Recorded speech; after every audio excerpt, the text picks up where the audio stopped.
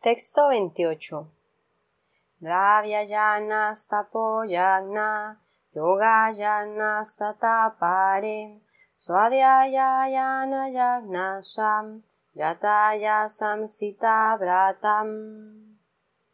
Traducción y significado por su divina gracia a Bhaktivedanta Swami Prabhupada. Jai Srila Prabhupada.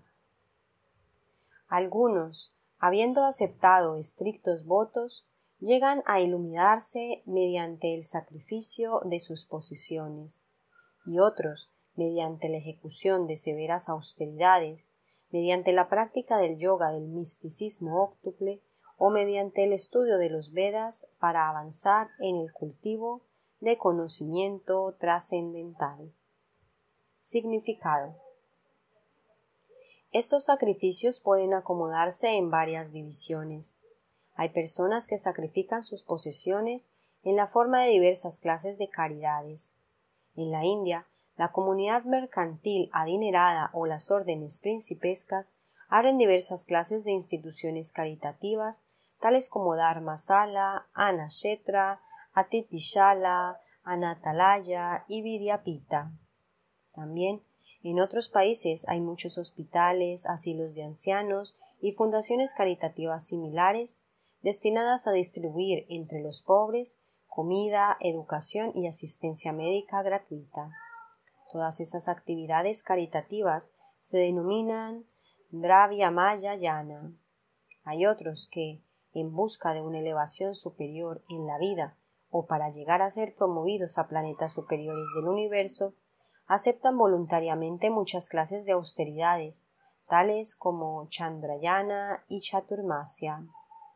Estos procesos entrañan severos votos para conducir la vida bajo ciertas reglas rígidas. Por ejemplo, bajo el voto de Chaturmasya, el que lo sigue no se afeita durante cuatro meses del año, de julio a octubre, no come ciertas comidas, no come dos, no come dos veces al día y no sale de la casa. Este sacrificio de las comodidades de la vida se denomina tapomaya yana.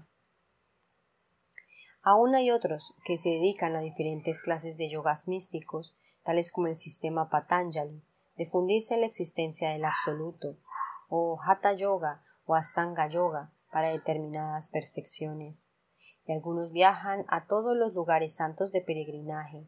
Todas esas prácticas se denominan Yoga Yana, sacrificio por un cierto tipo de perfección del mundo material.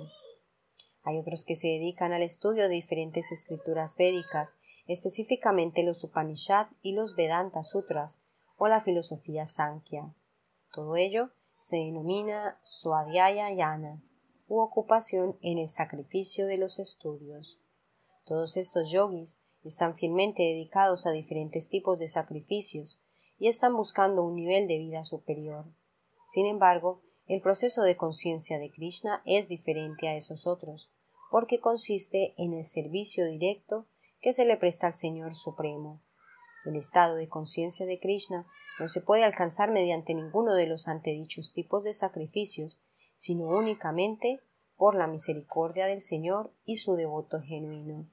Por consiguiente, el proceso de conciencia de Krishna es trascendental.